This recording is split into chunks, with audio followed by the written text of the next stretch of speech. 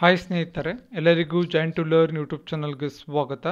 ಇವತ್ತಿನ ಕ್ಲಾಸ್ನಲ್ಲಿ F D A ಹಾಗೂ ಎಸ್ ಡಿ ಎ ಪರೀಕ್ಷೆಗಳಿಗೆ ಸಂಬಂಧಿಸಿದಂತೆ ಪ್ರಮುಖ ತತ್ಸಮ ಹಾಗೂ ತದ್ಭವ ಶಬ್ದಗಳ ಸರಣಿಯ ಕುರಿತು ಇವತ್ತಿನ ಕ್ಲಾಸ್ನಲ್ಲಿ ಮಾತನಾಡೋಣ.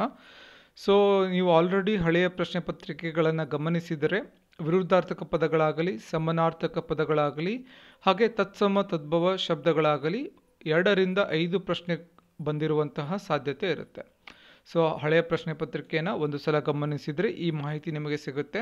ಸೊ ಆ ಕಾರಣಕ್ಕಾಗಿ ಮುಂದೆ ಬರುವಂತಹ ಎಫ್ ಡಿ ಎ ಹಾಗೂ ಎಸ್ ಡಿ ಎ ಪರೀಕ್ಷೆಗಳಿಗೆ ಸಂಬಂಧಿಸಿದಂತೆ ಪ್ರಮುಖ ತತ್ಸಮ ಹಾಗೂ ತದ್ಭವ ಶಬ್ದಗಳ ಒಂದು ಸರಣಿಯ ಭಾಗವಾಗಿ ಇವತ್ತಿನ ಕ್ಲಾಸ್ನಲ್ಲಿ ಭಾಗ ಒಂದು, ಪಾರ್ಟ್ ಒನ್ನನ್ನು ಡಿಸ್ಕಷನ್ ಮಾಡೋಣ.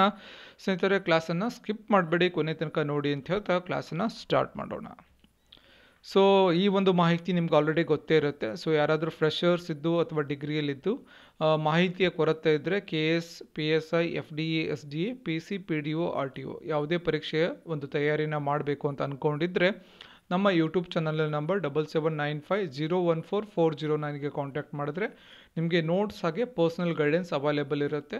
ಸೊ ನಮ್ಮ ಕೋರ್ಸ್ ಕೂಡ ಪೇಡ್ ಆಗಿರುತ್ತೆ ಫ್ರೀ ಆಗಿರಲ್ಲ. ಸೊ ಯಾರಿಗೆ ಬೇಕು ಅವರು ಕೂಡ ಕಾಂಟ್ಯಾಕ್ಟ್ ಮಾಡ್ಬೋದು ಅಂತ ಹೇಳ್ತಾ ಕ್ಲಾಸನ್ನು ಸ್ಟಾರ್ಟ್ ಮಾಡೋಣ. ಮೊದಲನೇ ಶಬ್ದ, ಯಾವುದು ತತ್ಸಮ, ತದ್ಭವ ಶಬ್ದ ಅಂತ ನೋಡೋದಾದರೆ ವಿದೂಷಿ ವಿದೂಷಿ ಇದು ತತ್ಸಮ ವಿದೂಷಿ ಇಲ್ಲಿ ದೀರ್ಘ ಇಲ್ಲವಲ್ಲ ವಿದೂಷಿ ಇಲ್ಲಿ ದೀರ್ಘ ಇದೆ, ಇಲ್ಲಿ ದೀರ್ಘ ಇಲ್ಲ. ಇದು ತದ್ಭವ ವಿದೂಷಿ ಎನ್ನುವುದು ತದ್ಭವ. ಎರಡನೇ ಶಬ್ದ, ವಕ್ತೃ ವಕ್ತೃ ಎಂಬ ಒಂದು ತತ್ಸಮದ ತದ್ಭವ ಏನಾಗುತ್ತೆ ಅಂದರೆ ವಕ್ತಾರ.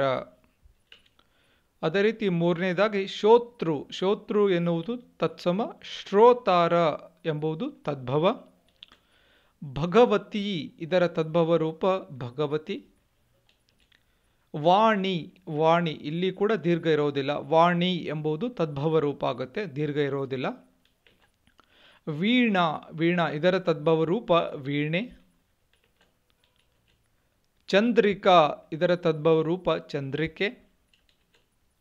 ವರ್ಣನ ಇದರ ತದ್ಭವ ರೂಪ ವರ್ಣನೆ. ಅಕ್ಷತ ಇದರ ತದ್ಭವ ರೂಪ ಅಕ್ಷತೆ. ಊಹ ಇದರ ತದ್ಭವ ರೂಪ ಊಹೆ. ನೇತೃ ಇದರ ತದ್ಭವ ರೂಪ ನೇತಾರ.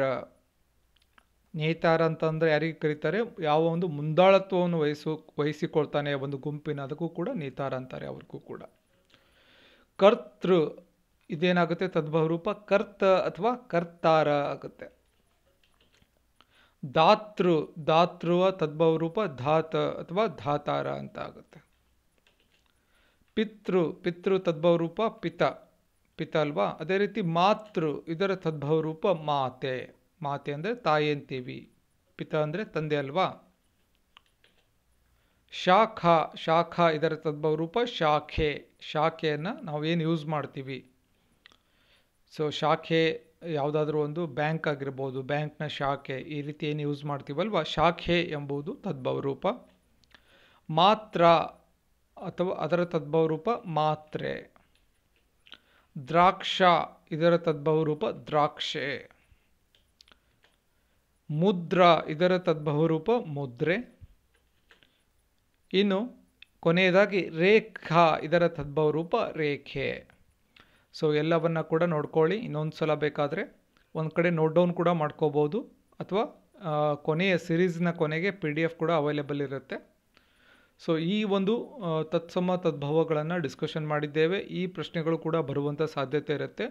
ತುಂಬ ಒಂದು ತತ್ಸಮ ತದ್ಭವಗಳನ್ನು ಒಂದೇ ಸಲ ಡಿಸ್ಕಷನ್ ಮಾಡಿದ್ರೆ ನೆನಪಿರೋದಿಲ್ಲ. ಸೊ ಆ ಕಾರಣಕ್ಕಾಗಿ ಇಪ್ಪತ್ತು ಅಥವಾ ಮೂವತ್ತು ತತ್ಸಮ ತದ್ಭವಗಳ ಒಂದು ಸಿರೀಸನ್ನು ಕಂಟಿನ್ಯೂ ಮಾಡೋಣ.